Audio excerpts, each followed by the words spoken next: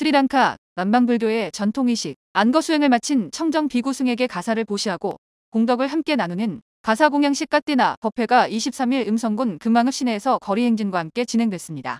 스리랑카는 불교 국가로 90% 이상이 불교 신자이며 까띠나 법회를 통해 안거를 마친 스님들에게 제가불자들이 가사를 공양하고 법문을 청해 듣는 행사로 전통 남방불교 의식입니다.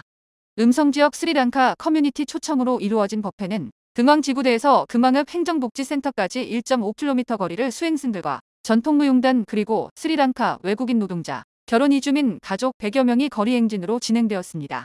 이날 행사를 위하여 순찰 차량 및 교통경찰관 배치 등 음성경찰서, 외사계와 교통계가 지원했으며 음성 외국인 도움센터 외국인 치안지킴이단 25명이 교통정리 자원봉사 활동을 전개했습니다.